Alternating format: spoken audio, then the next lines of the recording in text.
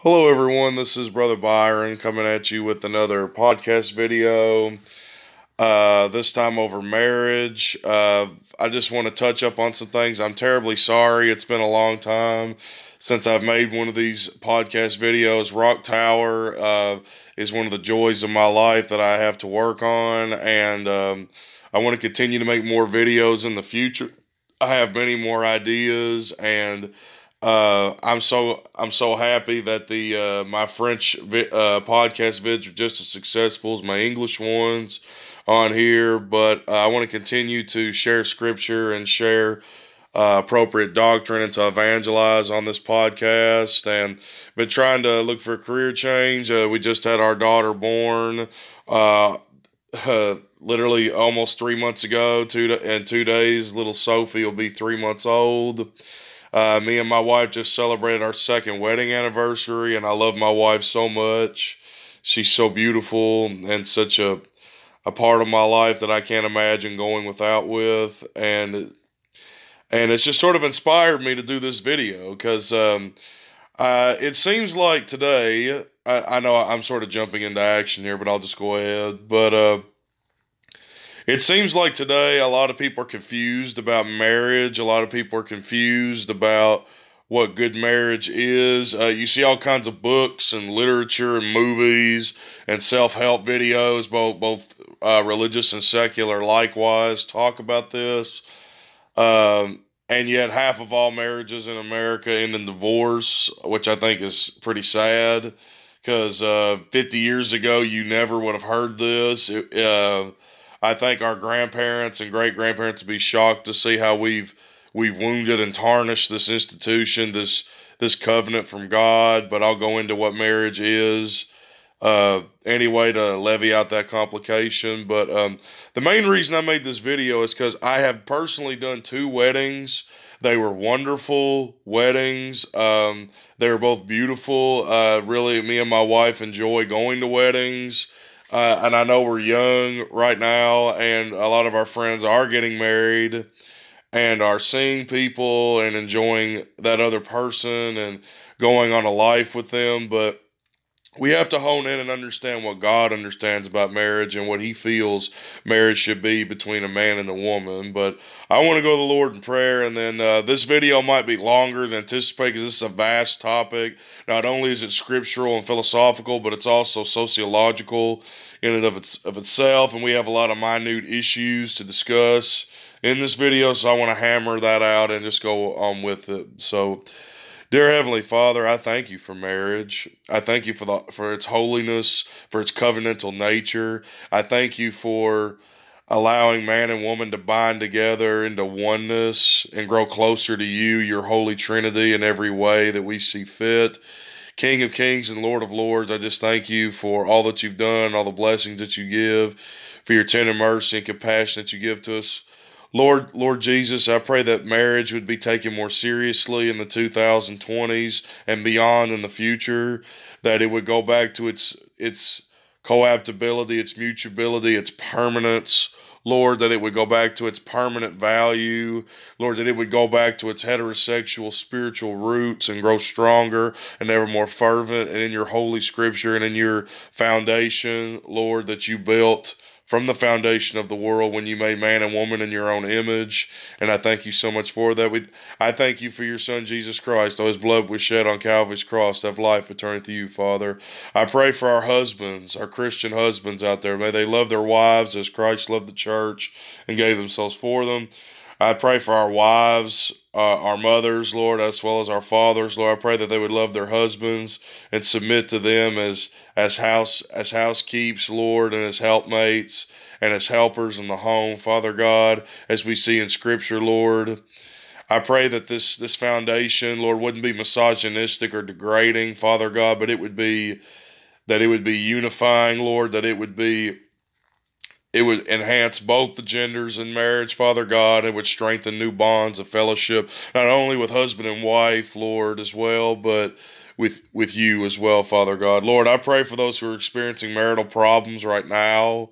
Father God, who are experiencing difficulties, whether it be financial, whether it be familial, whether it be sexual, no matter what that need is, Father God, you know what that need is is, excuse me, and I pray that you will heal this need as you see fit, Father God, and that you would do well with that.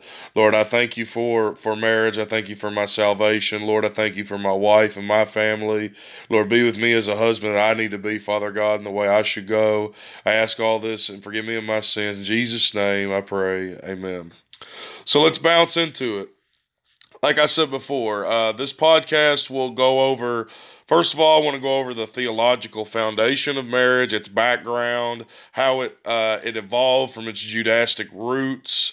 I want to explain and define husbandry and wifehood, and also uniquely to this video, I want to talk about uh, civic marriage over spiritual marriage. I want to talk about why it may even be considered a third ordinance of the church, even though it's not explicitly taught that way.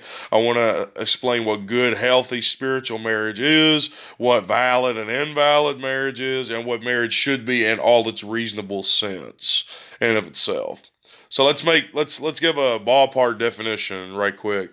Okay, according to scripture, from Genesis all the way through New Testament principle, marriage as intended to be and it has evolved today is a divine covenant and perhaps an ordinance ordinatial relationship established by God, spiritually solemnizing and uniting a man and a woman in a state of oneness that is committed and loved into for life. This ordinance, in its covenantal nature, is sacred, permanent, has co-optal mutability. It is full of intimate love and exclusive to the monogam- monogamity, excuse me, of the man and woman within the union itself. It is a private, daily, lifelong covenant that must be taken seriously, both the man and the woman, as they flourish and enjoin within holy matrimony as they get closer to God. Now, I know that was a mouthful, but basically, that it's it's sort of self-explanatory is what it is. Now, a husband is uh, I, I want to rewind a minute and discuss other and and uh, go over what I want to discuss as well too. I want to talk about intersex relationships and marriage and how the Christian community and the Baptistic community sees that. I want to go over that in a little bit, and I also want to go over other aspects of marriage too, and I'll get into that. I just I don't have it on top of my head from reading from the script. But anyway, a husband is a biological male that is the leader, protector, provider, and spiritual head of of the household and family itself. He is responsible for loving, caring for his wife at all times as Christ loved the church and gave himself for it. The wife is a biological female who is the childbearer co carer, helpmate, co lover, co nurturer, and co servant with him in the home. Both spouses have co equal responsibility and share co equal worth to God. The husband does have the last say in decisions, but he is duty bound to be as transparent and free with his wife as he ought to be, and the wife also has say in marital and childbearing decisions as well, such as property, custody, and other issues. The husband's headship is defined in Scripture in 1 Timothy chapter 2, verses 13 through 15. The Though this defines gender roles in church settings, it also has a marital connotation to it as well. Why do we get married? You may ask. What What's the purpose of marriage? Why Why do we, you know, why did I, I seek out a wife in my young adult life? Why do Why do men seek out women? Why do women seek out men? Why Why do we do this? Why did God institute this in the first place? These are all excellent questions. The reason why marriage has been established and its purpose is for companionship of man and woman. It is Genesis told us it wasn't good for Adam to be alone. He needed a helpmate. You know, he, he couldn't do what he could do with a giraffe or an elephant or another animal of the field. He had to have another human being. He had to have a different type of human being. It couldn't have been a man. It had to be a woman in that aspect. Some something different as well as similar to Adam itself in that aspect. But anyway, Marriage is also for the spiritual edification of husband and wife in their spiritual walks. It is also for sexual purity and procreation. The goal is that in these these monogamous spiritual relationships that God has instituted, that God would allow human beings to be procreated in an appropriate fashion, and that it would cut down off of any sexual illnesses or sexual maladies that impact the human race. Now, that is not to say that a, married couple who does it right couldn't have sexual impurity and they couldn't procreate, but we'll get into that here in a minute. Uh, the Holy Trinity blesses these unions by believing by the believing man and woman by sanctifying their marriage actively and passively in His righteousness. Now, going on forward, I want to discuss another thing. Now, many, uh, excuse me, other Christians outside of Protestant life, outside of Reformed life, will tell you that marriage is a sacrament. Now, I want to also assure you that we do not believe in sacraments. We believe in ordinances. There is a difference. An ordinance is an out, outward display of faith, and it is shown through active and passive righteousness rather than actual imputation. I want to give an argument why marriage is not a sacrament through Baptistic sense and through Scripture in and of itself. First of all, as I've already said, the word sacrament is not in the Bible, therefore, there can be no theological allusion to it, and it is non existent. God solemnizes and blesses the union ultimately. The pastor is just the human male vessel that God chooses to use and bring the couple together. As I've already said before, also, marriage is an outward expression of faith in and of itself. When the couple vow for that covenant, they are showing off their faith and their zeal that God has in their lives inwardly, the couple ought and should have for the love of each other in their lives, as well as the Lord's counsel and wisdom in their marriage, if they sought counseling, which they should. Grace is already in their hearts and has already been pre imputed prior to the vowing of the union, if they both know Christ. There is no imputation of grace specifically for marriage in and of itself, and is only this is only accomplished in the salvific acceptance of man and woman who follow Christ prior to them getting married. This explains why death or glorification of the man and woman should they die frees that person from the marital union in and of itself this sense of non imputation of grace also further explains why adultery or desertion also allows divorce to be permissible only on those conditions. Only God can spiritually dissolve a union, and there is no scripture giving a pastor or deacon the ability to carry out a spiritual divorce. Now, I understand other churches, like Episcopalians or whatever, have divorce decrees or whatever like that, but these are just baloney certificates that have no meaning in it whatsoever in of itself. I also want to give an argument why marriage may even be considered an ordinance. And you're saying, well, Brother Byron, we only have Lord's Supper and baptism. I understand that. However, uh, the early church fathers, like Thomas Knowles and John Gill, thought about it as an ordinance, and they defended that in their early works and used scripture to defend it of itself. And here's my argument for that. At its core, marriage is sacred and it is an institution given by God and it is to be protected and is already actively protected by New Testament Christians. You have Christians, even as I'm speaking the words out of my mouth, who are per- trying to protect spiritual marriage. They don't believe in anything outside of spiritual marriage. If if there's no covenant, there's no marriage, plain and simple. And because of that covenantal nature, that solidifies the ordinance of marriage in and of itself and gives God the, the heart and the reason for marriage in that aspect going on. Marriage is symbolic and points to Christ in the solemnization of grace, actively and passively. I've done explain that. These symbols are purity and the and sin ending as wife and husband unite as one. It also symbolizes the perfection of the Trinity. It symbolizes sacrifice, as both husband and wife will sacrifice for each other as Christ sacrificed all, all at Calvary. It represents new life as the couple starts anew, just as in salvation, you're a new creature, you're a new you're a new being. You know, when you accept Jesus, His grace allows new life to begin and to sanctify going forward. Although marriage is highly significant, it is not a means of salvation as grace is active and passive, and it is not regener- regenerative in the marriage union. This explains why it is not a sacrament explained before. It correlates heavily to other doctrines of grace non salvifically, such as soul competency, priesthood of all believers, and other Baptistic teachings. So I would argue because it's protected, it has symbolic gesture of Christ of his death, burial, and resurrection because the couple dies to each other, they sacrifice to each other, they raise to walk in a newness of life when they recommit to each other and of itself, and they bury themselves in their lives, they die to each other as Christ did. And you say, All right, Brother Byron, give an example of that. All right, look at the wedding of Cana. All right, Christ could have performed the marriage ceremony, but he didn't. He blessed the the ceremony as well. And when he turned the water into wine at Canaan, he's, the old life had passed away, new life had become new, and he blessed it and sanctified that through that. Also, whenever the Old Testament Jews married pagan people, that that their the pagan peoples of, Palest- of Palestine, of the Middle East, did not believe in a covenantal nature of marriage. They only believe in the carnal nature of marriage. So that that marriage was improper and it had no means of grace through this. Even though the Jews didn't believe in Jesus, that same element of grace still existed and carried on through that.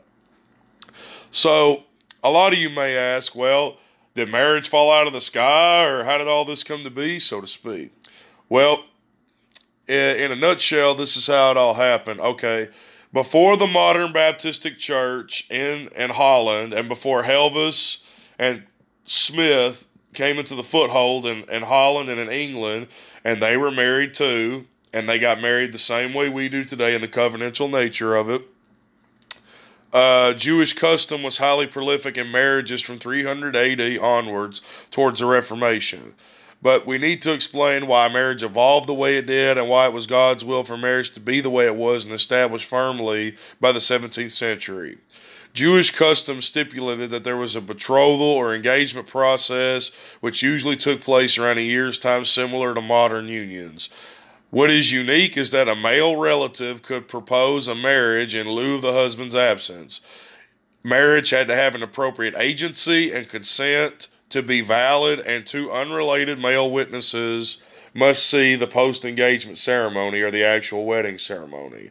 Only after the marriage was consecrated could cohabitation be allowed, and the couple could then live together. And the ring was the most common wedding item at that time, but it could also be a family heirloom, a trousseau, or something like that, or a dowry from the wife that she exchanged with the husband. You know, it it it was just different back then because some people couldn't afford gold and silver back then.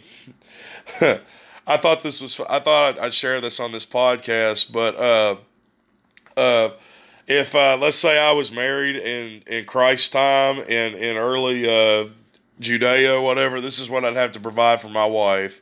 I'd have to provide enough bread to last two meals a day sufficient oil for cooking and for lighting purposes, sufficient wood for cooking, fruit and vegetables, wine if it was customary for women to drink it in the locale, three meals on each Sabbath consisting of fish and meat, an allowance of silver coin. I'd, ha- I'd also had to provide conjugal providement and protection duties, which is kind of self explanatory. It's what, pretty much what all husbands have done since the beginning of time as well. But let me be absolutely clear in this. Just because marriage followed a Talmudic vesture and went in that direction does not mean that we follow the Talmud and there's no such thing as a Talmudic Christian. This explains why a Jew or Christian could not wed together. This also explains and um, also, there were a lot of things in the Old Testament that were not explicit in marriage, which is why the, the Romans and other governments had civic nature established with that in and of itself in that avenue. But we'll get more into that here in a minute. I will say this, however Old Testament laws pertaining to sex and marriage are to be followed and respected. And after 300 AD, when non Baptistic Catholic teachings took over mainstream Christian thought and action. Most marriages were condoned without ministerial blessing, without witnesses, and they had huge non covenantal focuses. This was bad.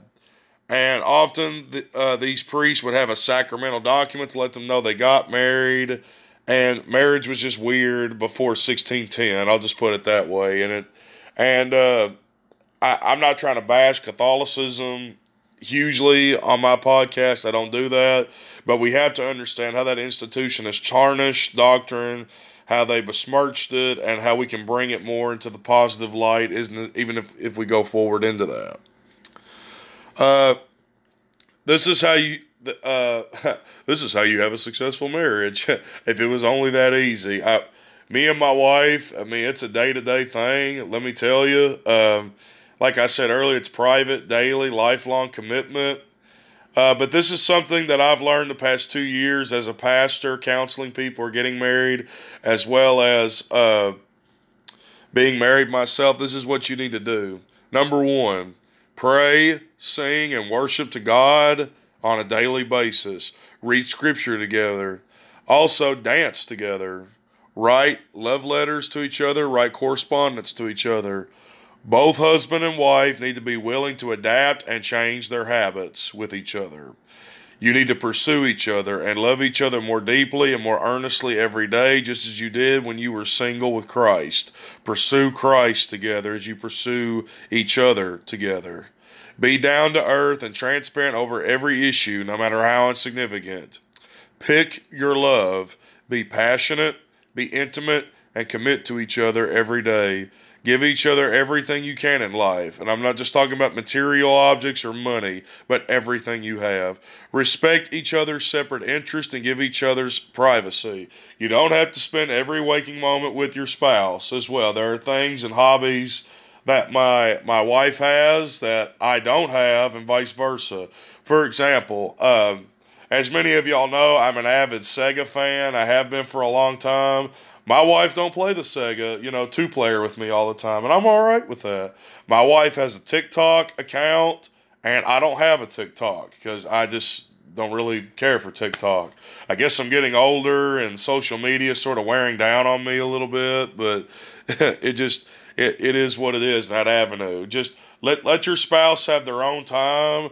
I would even say, you know, be like Jesus Go off and have some privacy one on one because you need that as well as togetherness. You need together time, but I feel like a married couple needs their own alone time with just them and Christ themselves to pursue each other's habits, but within reason, within acceptable limits. Uh, spend spend time on each other's phones. Goof off on each other's phones. Uh, I think that's the number one reason why millennial couples have trouble. They get jealous over each other's cell phone. Uh, information or whatever it is. And I mean, if there's closet pornography or closet secrets in there you're not sharing with your spouse, you need to be open with that. You need to you need to share that openly and get that out and pray about it as well in that aspect. Go to bed every night forgiving each other and bury the hatchet after every disagreement. Avoid being negative about your spouse. Turn curses into blessings. Make lemonade from lemons. I cannot tell you how every uh, sometimes when I go to church, I hear couples say something bad about their spouse. They say that they don't cook good enough, they don't do this and that. And I know life's hard. We nag and complain. My wife's done it to me. I've done it to my wife. But avoid negativity. Always say positive things and the good things about each other because the glass is always half full, and at the end of the day, all you have is your spouse and your family, and don't take them for granted. Appreciate the little things and all contributions in the marital union. Cherish every moment. Enjoy and cherish your sex. This is even scriptural, and we will discuss this more. Now, I am not saying that a married couple should have the you know blatantly you know sexual olympic type sex all the time or whatever it is what i'm saying is and i and i know this is an elephant in the room or whatever it is but you need to know your partner's your excuse me your spouse's sex. You need to understand what turns them on and what turns them off both socially in the bedroom outside the bedroom. You, you need to understand this because you need to grow closer to each other, not further apart. This is what prevents falling out of love with someone. If you love each other every day, you'll never stop loving that person.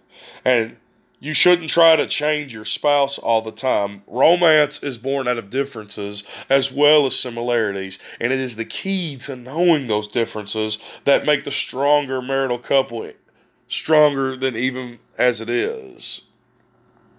But have fun with your sex, enjoy your partner's sex, and make sure that it's the sex that, that you guys want. Have safe sex and don't bully your spouse into having sex they don't want to have because they're not a rag doll, they're a human being as well. And neither spouse has the power to put their own, yeah, to just put their, you know, their sexual, uh, uh, whatever, what's the word I'm looking for? It's, it's hard to, uh, bruteness, you know, whatever, into into that relationship as well.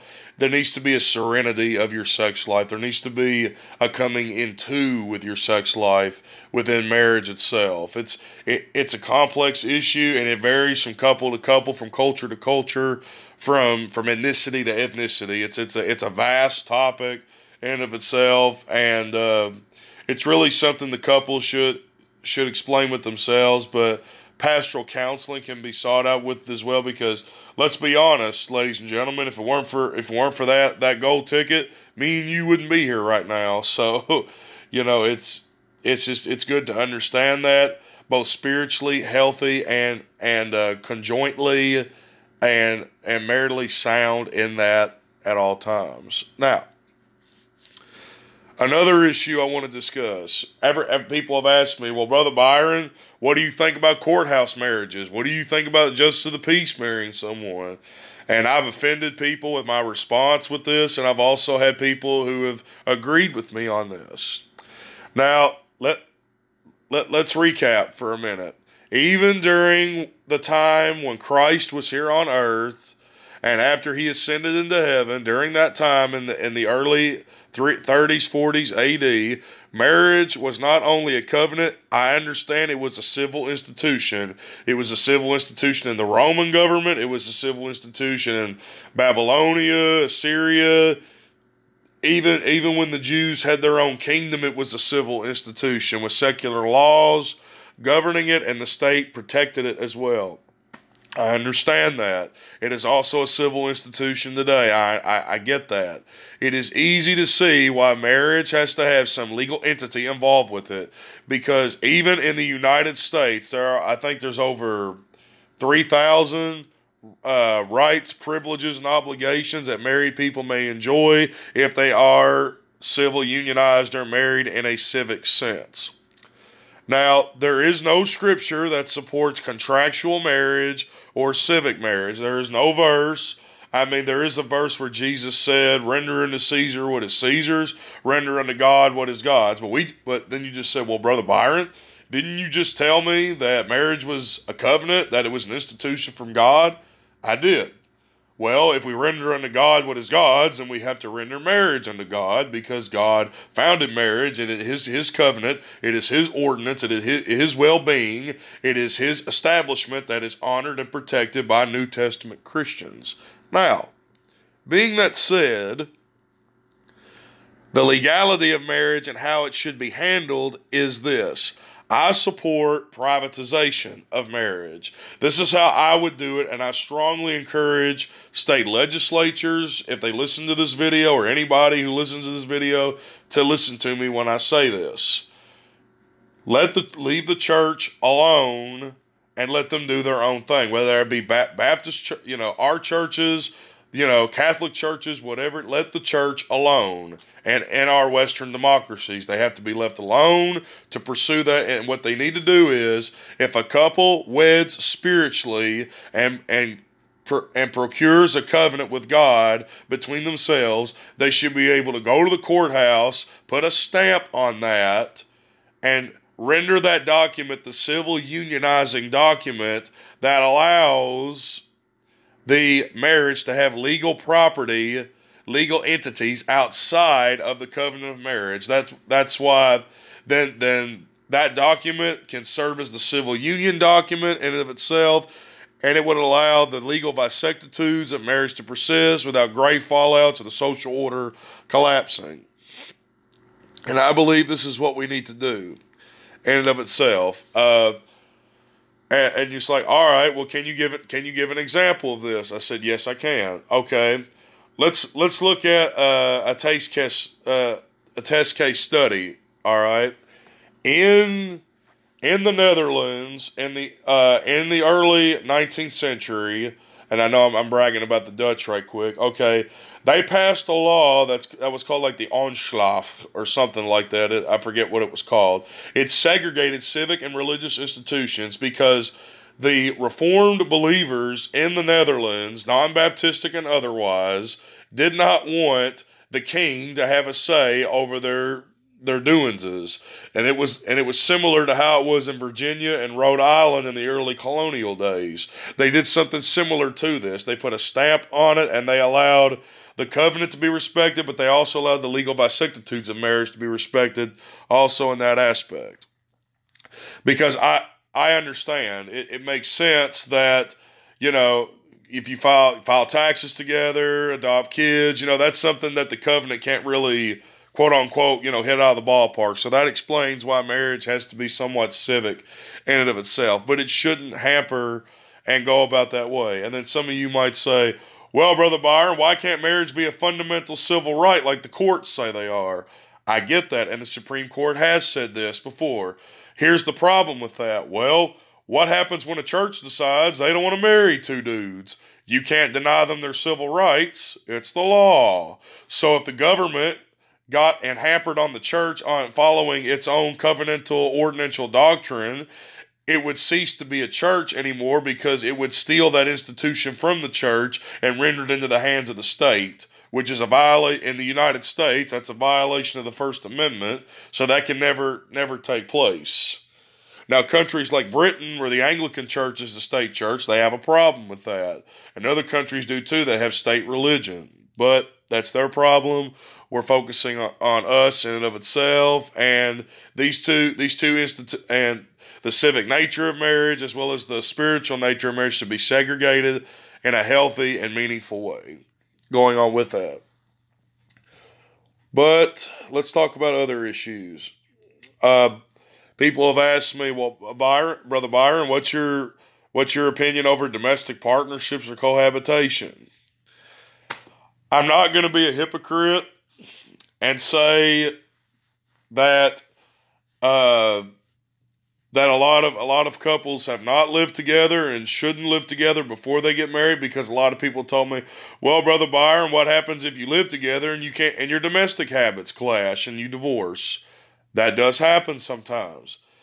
The only way I see out of that out of that issue coming to the foot to the foothold and being what that is uh, a chaperone could live with the couple to see if they mingle domestically and get along that way. Most people don't have domestic issue in the home. Some people do. Some people some people don't. It's just that varies from couple to couple, and they they should do that. But uh, and I, and I know I'm going back in there. There is no verse in the Old Testament or the New Testament that forbids cohabitation. The only information I could come up with was in the Talmud. It prohibited in in Jesus' eyes and the eyes of the rabbis before Christ established his new church and his new covenant in the New Testament. It bypassed the soul. It there has to be a sense of of commitment and accountability in the marriage union and the soul cannot be bypassed. That's why at the root cohabitation is bad. You're not committing and you are not holding your spouse accountable because you haven't committed to that covenant. You haven't bowed into that covenant. That is why cohabitation may not necessarily be sinful, but it it's negative. It's an appearance of evil. I would say it's an appearance of evil in that aspect because it, it does something like that.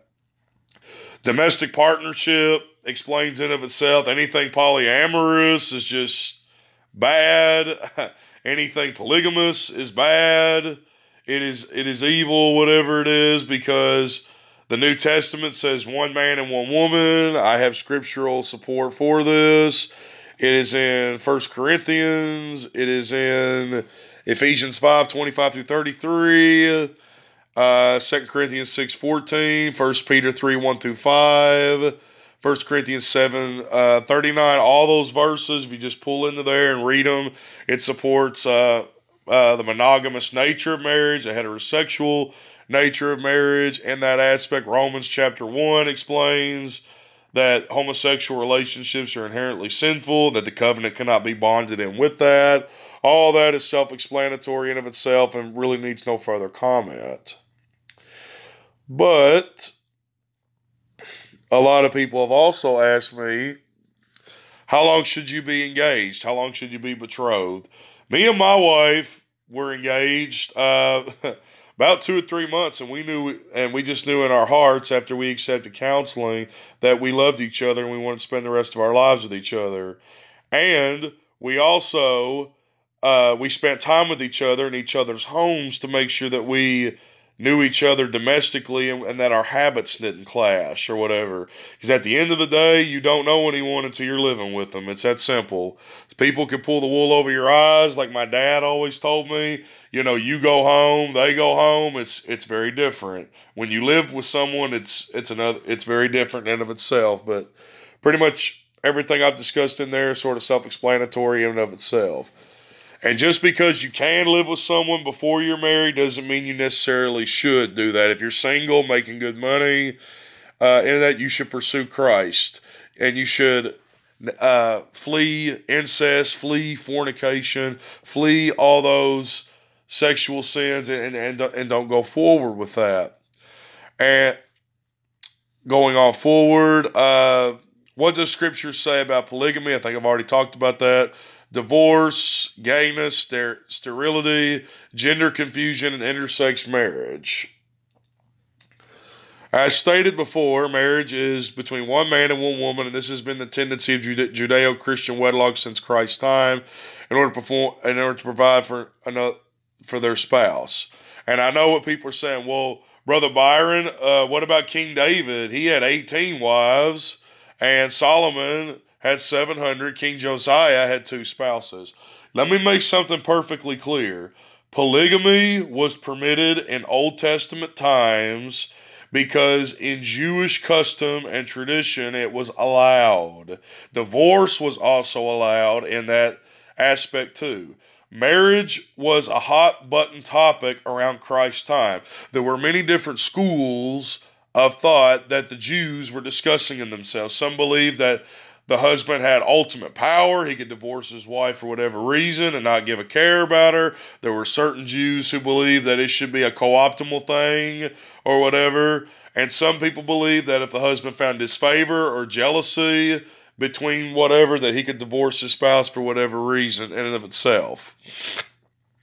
Now, a lot of people ask me, well, Byron, why would a holy and just, merciful God allow things like divorce, intersex physiology, heter- homosexuality, and sterility? Here's the reason why that is it's us, church. It's sin. It is our depraved, depra- excuse me, depraved nature that God allows these evil things to happen, these bad things to happen. And God can turn curses into blessings in and of itself. And just because something was allowed doesn't mean it was always permitted or that it was always good to happen. Monogamous marriage was the Jewish custom back then, even though in Christ's time it was very rare for that to happen. One man and one woman was the norm, and Paul solidified that in the Old Testament, and that's the way it is now. God allowed this in Old Testament times to procreate the human race, and it was his will and blessing for men who served him to have that honor and that privilege to do that. That does not mean that that women did not get jealous back then or whatever, and nor was but yet again it was not sinful. It is just one of those things that it's just God's will, and it must be loved and accepted in that way. Just like God asked Abraham to, to, to kill his own son, and that wasn't fair, but he was going to do it. You know, sometimes loving God is hard. Sometimes loving God, and and I think the long suffering of marriage is what people struggle to consider and think about in and of itself. But I'm going off on a tangent anyway. The epistles celebrated celibacy. It's uh, singleness is celebrated and proper and holy. Celibacy is, or virginity, whatever you want to call it. Uh, spousal death and remaining widowed was uh, a contentment in, in New Testament times too. Uh, monogamic, endogamic, and heterosexual covenant marriage was the New Testament norm. That is not to say ex, exoga, uh, exogamy outside of one's culture, social class, ethnic background, linguistic background, other background is not sinful, but it should be carefully considered and pray, prayed over at all times. Let me give an example. I have a buddy in New France right now. He's Asian, but uh, he married a European woman, and their marriage is, I'm sure they may have had some issues in that, but they discussed that. They talked about it, you know, culturally speaking, or whatever it is, and they got through it through the Lord's counsel, through prayer, through through immersing themselves in Scripture and in prayer with God as they should in that that aspect.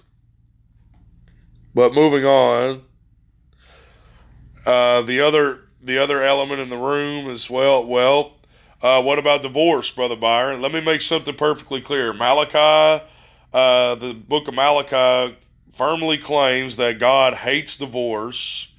Uh, he despises it.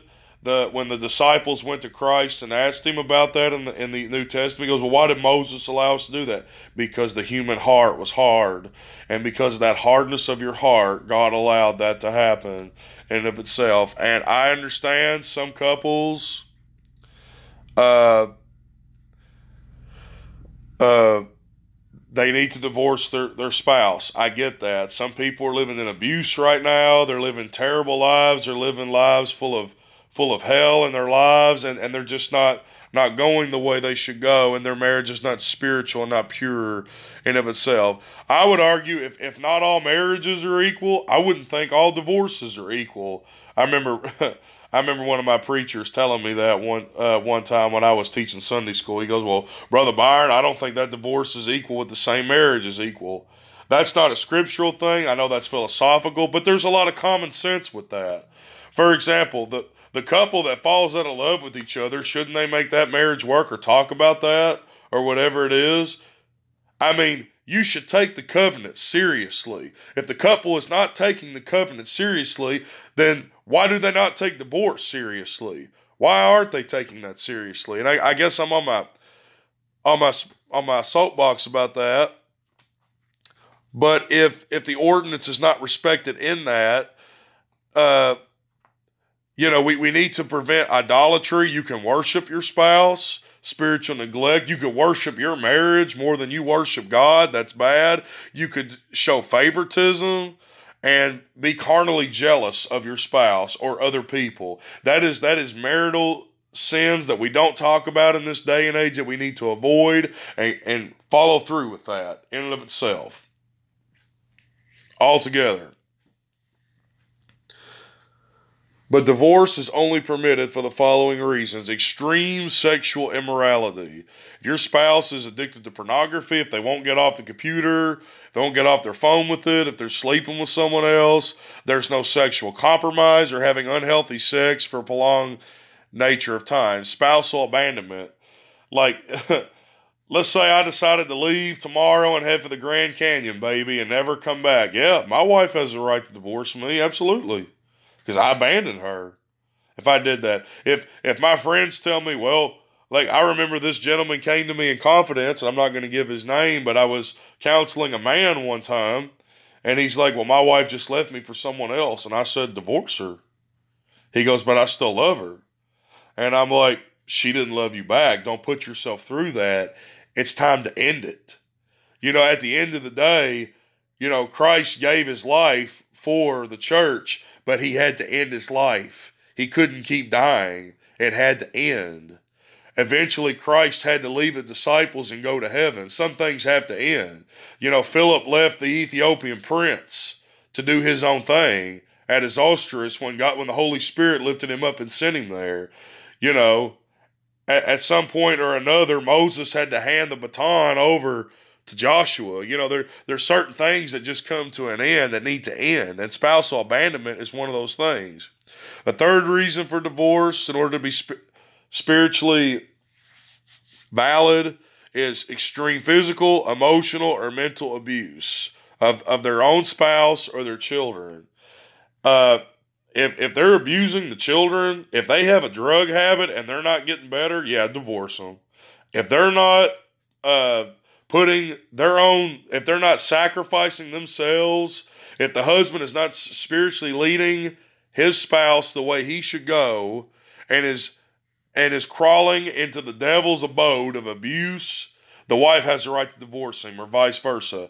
If, if the wife is constantly nagging and abusing her spouse emotionally, it, it, if it's like stepping on eggshells, if it's toxic in that household, by all means, get, get out of it. Get out of it. And I know what you're saying. Well, Brother Byron, what if I have to face the music in heaven? Well, let me tell you something. I, I wonder if my parents will have to do that one day. And I know I'll I'll set an account for everything that, that my that my wife has done for me and I've done for her. And I hope that I, I've won her enough crowns, I've won her enough beauty, enough grace, that I've shown Jesus enough in her life to love me more than Jesus would love me, to get to that that that ever so tender, amazing love that Christ had at Calvary, that he could explain that in and of itself. I that is my prayer and daily hope. Just because a couple falls out of love, or if they got married for shallow carnal reasonings, you need to marry for the right reasons. I will end with this. You need to, to marry for the right reasons, not just for their sex, their money, their familial power, for revenge. And yes, people have got married for revenge. I know couples like that. Uh, I remember watching Rudy. We watch it every St. Patrick's Day, and Rudy was seeing this girl you know, in the movie, you know, they're Catholic in there, and that's all fine and dandy. Well, Rudy goes off to college to get his bachelor's degree, you know, and to play football over there. Well, he comes home for Christmas. His girlfriend is dating his brother. She wanted in that family. She wanted that money of that family, the prestige of that family. She was seeing the Ruettigers for the wrong reason in that relationship. She wed for the wrong reasons. And she may not have understood what marriage and relationships are all about. She may have thought it was a game and that's her business. But and I know it's a movie, but it has a lot of real life examples with that. Uh, a couple should not marry for restitution to pay off someone or to money launder. They should not marry to cover up some social or dirty issue or an unexpected pregnancy. It is okay to not marry someone if they're pregnant with your child. And I know that's harsh, but your children will love you more for not getting married if you told them, and I know this from personal from personal example and reason, I know this. If you chose not to get married, if you knew the relationship couldn't work, just because just because you decided to have a child together. Uh, my goal is in making this podcast that uh, I wanted to sense, I wanted a spiritual, uh, real outlook of marriage. I want this postmodernism, this spirit, this casual hookup culture that we have, this non romantic, non chivalrous uh, issue of marriage, this uh, non ladylike appearance of marriage. Like, I want men to be men again and women to be women again in holy matrimony. And uh, lastly, I'll conclude. Well, Byron, what about intersex people? Not everyone's born a man or a woman. So, what about those people? You mentioned biological male and women at the beginning of the video. I did. Well, um, I will say this: if if the intersex person feels dominantly male, then they should accept the male role. If the intersex female feels more more uh, more female in that aspect, they should they should they should wed too as well. As long as it conforms to the heterosexual paradigm, the monogamous nature of it, the exclusiveness of it, which means it's private and only going in and of itself in that aspect, that's that's what they should do. And uh, let's see. I guess I, I can close with some quotes. Uh, Brother Grantham and, and Britton had this to say about marriage. It is an, an, insupportable sorrow when a woman hath forsaken all relations in the world to consort with her husband, and then finds that his heart is not with her. This is called a treacherous dealing, and reproved by the prophet Malachi. He that putteth his wife out of his affection dealeth no better than he that divorceth her. This want of love between husband and wife is a grievous iniquity, a treasonable impiety, hateful in the sight of God, and yet that is not which Satan prevails to, to ensnare men with to the provoking of the majesty of heaven against them, to the evil example of their families, and to the perdition of their own souls. God will be avenged on this generation for this iniquity. Jeremiah 5 7, 8, 9. How shall I pardon thee, thee for this? Everyone neigheth after his neighbor's wife. Shall I not visit for these things, saith the Lord? Shall not my soul be avenged on such a nation as this? And another quote on marriage from Baptistic teaching is what Lord Gill had to say. Uh, he said in, in one of his books, It is commonly observed, and pertinently enough, that the woman was not made from the superior part of man, that she may not be thought to be above him and have power over him, nor from any inferior part as being below him, and to be trampled on by him, but out of his side, and from one of his ribs, that she might appear to be equal to him, and from a part near his heart, and under his arms, to show that she should be affectionately loved by him, and be always under his care and protection. And I really love how Lord Gill cared for Lady Gill. His wife got sick. He took time out of the pulpit to care for her. Same thing with Spurgeon. He took time out of his out of his ministry to care for her. Pastoral men love your wives. Men love your wives. Wives love your husbands. We need more love in this day and age, not not more hate in of itself. Let me see if I can find another quote. Uh, Sarah and Samuel Pearce. Here's some good ones. The occasion of my writing is a source of joy inexpressible to myself, a joy which I know you will participate. I am no longer a bachelor. Your amiable friend permitted me to call her my own yesterday. One dwelling now contains us both, and Paul Square contains that dwelling. Avoid any religious controversy with Mrs. Briggs. I fear she has more studied system than yielded herself to the influence of truth. You, my love, I believe, have been better employed. I have been much afraid lest she, she should distress your mind. I have no under no apprehensions of her altering your sentiments. I believe you have been taught by them by the Holy Ghost who dwelleth in you, and that you will be kept therein by the power of God. But it, it will pain your mind to hear your Lord degraded and blood wherewith you were sanctified I count it an unholy thing. Last evening, were my eyes delighted at the sight of a letter from my dear Sarah, I rejoice that you, as well as myself, find that absence diminishes not affection. For my part, I compare our present correspondence to a kind of courtship, rendered sweeter than what usually bears that by that name by a certainty of success, not less than when I sought your hand in marriage. Now I do I now court your heart, nor doth the security of possessing you at all lessen my pleasure at the prospect of calling you my own when we meet again. And then towards the end of the letter he added, Oh, our dear fireside, we shall sit down toe to toe and tete a tete again. Not a long time while I, I hope will elapse ere I rejoice that felicity. Hmm. People don't write that way anymore. Uh, I highly recommend Sarah and uh, what was her husband's name? Samuels, yes. Uh, Pearce's marriage. Uh, they were. Uh, it's a great book. Uh, if you want to read any of the early 17th century comments on marriage, uh, you can go ahead and do that as well. I may leave uh, descriptions in the box below with that. I'll, I'll, add the spiritual exegesis from this.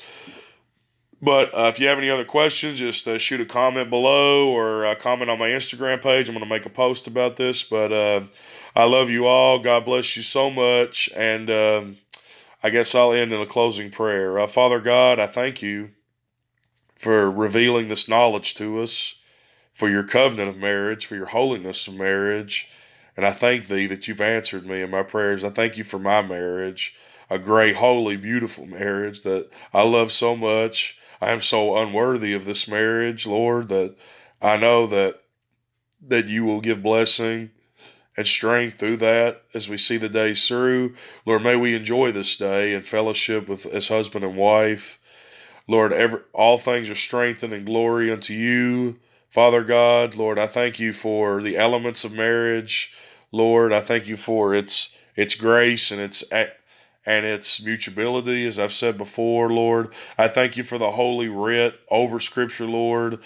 Lord, I thank you that you're a God that hates divorce. I thank you that you're a God that reconciles man and woman together, Lord. I thank you that you're a God that eschews evil and shines righteousness forevermore, Father God, for you are the righteousness of righteousness, El Roi. You are our Lamb slain from the foundation of the world. I thank you so much for that.